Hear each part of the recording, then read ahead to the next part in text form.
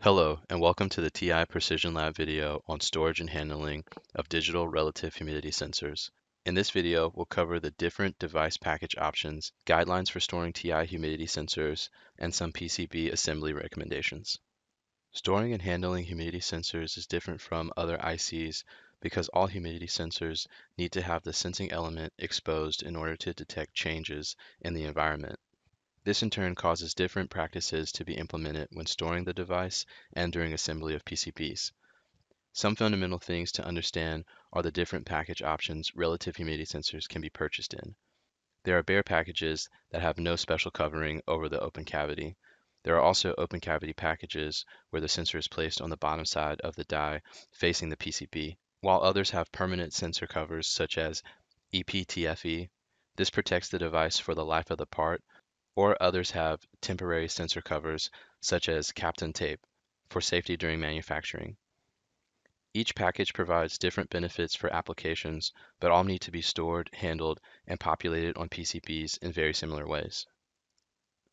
Due to the open cavity style package that's required for humidity sensors, there are other common IC storage tendencies that need to be avoided when storing or transporting humidity sensors. The most important is to avoid storing humidity sensors in anti-static polyethylene bag or foam. This material emits gases that can affect the sensor's output. Similarly, we advise to stay away from other adhesives inside the storage containers for the same reason.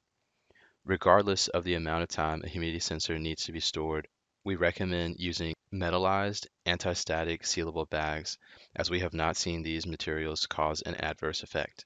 It's also important to keep them in a controlled temperature and humidity environment in order to maintain polymer performance. TI offers a silicon user's guide that goes into more detail of the list of volatile organic compounds we know that affects our sensor, although it is not an exhaustive list. When these guidelines are not followed, we have seen shifts in the polyimide as shown in the graph on the right. If this does occur, it's important to follow the baking or rehydration instructions in the datasheet of the device being used to return the relative humidity sensor output to normal. During assembly is another stage where traditional processes can harm an open package IC. Our recommendations for when to populate the humidity sensor on the PCB is dependent on the package type.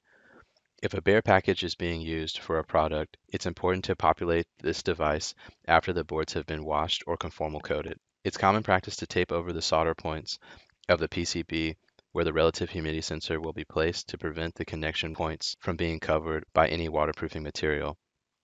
If the humidity sensor must be populated prior to the boards being washed, we recommend using deionized water for this cleaning process. We have found that deionized water causes little to no effect on our polyimide. The recommendation is the same for a permanent filter option if the PCB needs to be conformally coated because the density of the coating material will prevent the sensor from being exposed to the environment. However, if boards only need to be washed, the humidity sensor can be populated prior to the cleaning. Since the permanent filter has a rating of IP67, no fluids will make contact with the polyimide. We still recommend washing with deionized water because the majority of gases that are volatile organic compounds are smaller than 100 nanometers and are able to pass through the filter. A package with Kapton tape can be populated at any time in the assembly process. Since the tape is removed in the final stages of assembly, the tape will provide protection from chemicals used to wash the board, and any conformal coating placed on the tape will be removed once the tape is taken off.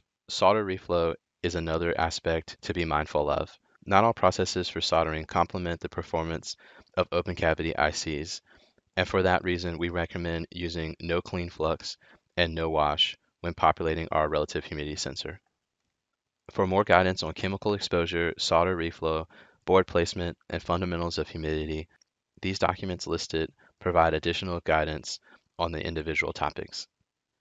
Thank you for watching this video about storage and handling recommendations for humidity sensors, and be sure to download this presentation for direct links to the resources mentioned. We also have more additional resources and product information at ti.com forward slash humidity.